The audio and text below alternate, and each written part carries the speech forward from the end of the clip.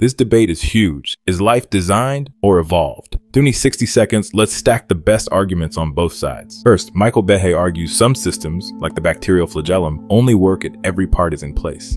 He calls this irreducible complexity. William Dembski takes it further. When something is both incredibly unlikely and matches a pattern, he calls it specified complexity. To him, that points to design. Stephen Meyer points to the Cambrian explosion, when new body plans appear in a geological blink, as evidence that new information suddenly arrived. The last big claim, mutations and natural selection can't build new complexity. But now, let's test those claims with rebuttals.